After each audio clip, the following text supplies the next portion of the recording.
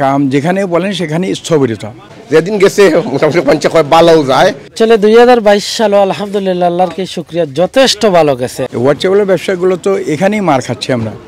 কেমন ছিল দু হাজার বাইশ সাল? এমন প্রশ্নে ব্রিটিশ বাংলাদেশি কমিউনিটিতে ছিল আশা নিরাশার মিশ্র প্রতিক্রিয়া।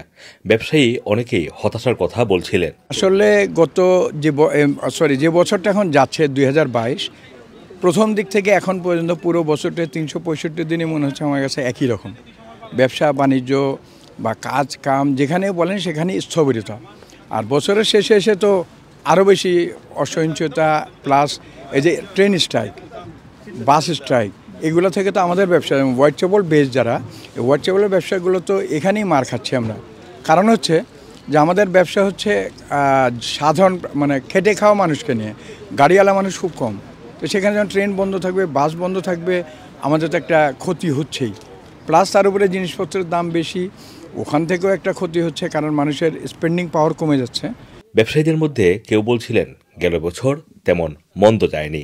চলে দুই হাজার বাইশ সালে আলহামদুলিল্লাহ আল্লাহরকে শুক্রিয়া। যথেষ্ট ভালো গেছে। আমার আলহামদুলিল্লাহ খুবই ভালো গেছে। আমার মনে হয় লন্ডনে যারাই বিজনেস করতেছে সবারই খুবই ভালো গেছে। খুবই ভালো মাল এসছে স্পেশালি বাংলাদেশ থেকে। আস্তা ওয়ার্ল্ডের চাইতে সব চাইতে ভালো মাল ভালো কোয়ালিটি ইজ গুড প্রাইস এসেছে বাংলাদেশ থেকে। এখন পর্যন্ত আসতেছে। খুবই ভালো। রেস্টুরেন্ট সহ ক্ষুদ্র ব্যবসায়ীরাও তাদের অভিজ্ঞতার কথাই বলছিলেন। আমরা দুই হাজার বাইশ সাল যেদিন গেছে মোটামুটি পঞ্চাশ কয় বালাও যায়। ঠিক আছে বালা মন্দ মিলাইয়া গেছে। আলহামদুলিল্লাহ শুক্রিয়া আদায় করলাম। ইনশাল্লাহ আশা করি নেক্সট ইয়ার আমরা আরও বালা যায় দু হাজার তেইশে পঁচাশ ইনশাল্লাহ আশা করি ভালো হবে। দু হাজার বাইশ যেগুলো ভালো হয়েছে আরও চাই ওটা ওই তেইশের যেন যে আমরা একটু ভালো পাই। এই টাইপের জন্য বিজনেস হলে আমাদের জন্য ভালো হবে। দুই হাজার বাইশ যেমন তেমন কাটলেও দুই হাজার তেইশ সাল যেন সকল সংকট মোকাবেলা করে কাটাতে পারেন এমন প্রত্যাশাই করছেন সবাই।